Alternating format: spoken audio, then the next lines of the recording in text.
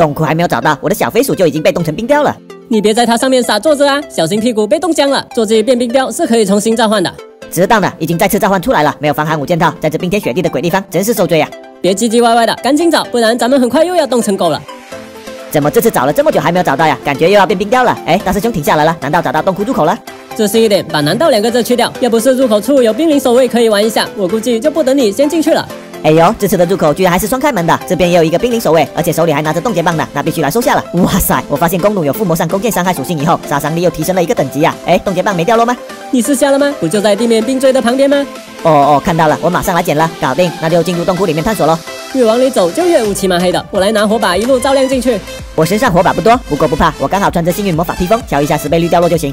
你脑子倒是挺好使的，那我多插几个给你敲。我准备火把好像挺多余的，跟在你后面，有你帮忙照亮就行了。感觉只要冰窟里面的冰晶喷菇够多的话，靠它们的亮光也能看得很清楚了。这东西我可不希望它生成的多，一踩到就乌烟瘴气的，而且冰雾更容易把咱们冻成狗。这些还容易避开，头顶上的冰锥才麻烦，时不时就把咱们的天灵盖给穿个大窟窿。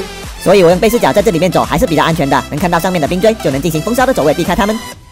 哎，又到分岔路口了，这次有三条路可以走，那就更纠结了，都不知道要探索哪一条了。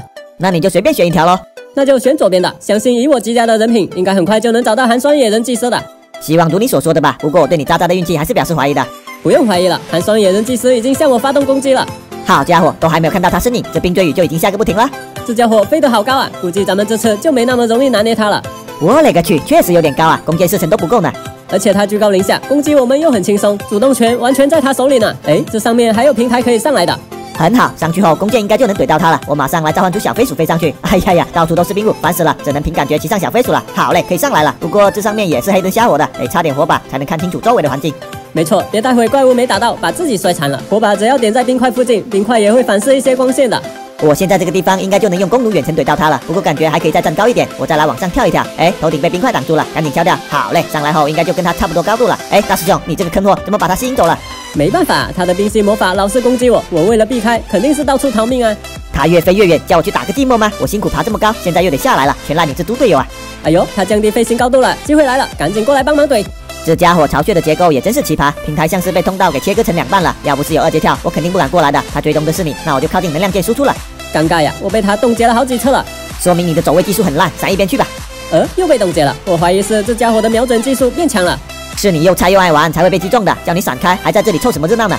他就剩一丢丢血量了，我还怕他个啥呢？很好，那就看谁先把他给解决了。不好意思，被我拿下了，真丢人！这家伙临死前又把我给冻结了。你赶紧看看地上是啥吧。哇塞，这么多极寒御法杖，捡都捡不完。这东西挺耐用的，一人有个一两把就够了。我身上都是好东西，都不知道扔掉点什么了。我背包还有空间，咱们整理一下喽。